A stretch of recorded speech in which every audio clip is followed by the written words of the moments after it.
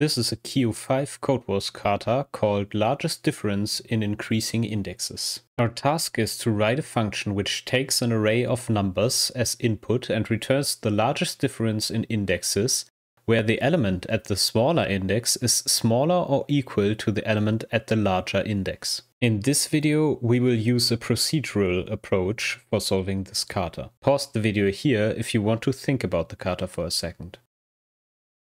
To solve this kata, we first iter over the length of the array in reverse order, including the length itself, but excluding 0. The resulting values are the possible distances in our array.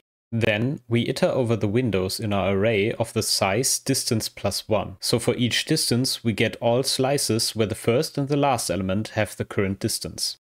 Then we simply compare the first and the last element in our slice. If the first element is smaller than the last element, we have found the largest distance satisfying the constraint. If we find no such window, then there is none and we simply return zero. And this is how you can do it in Rust. Let me know in the comments if you are interested in a more detailed breakdown or a specific kata for my next video.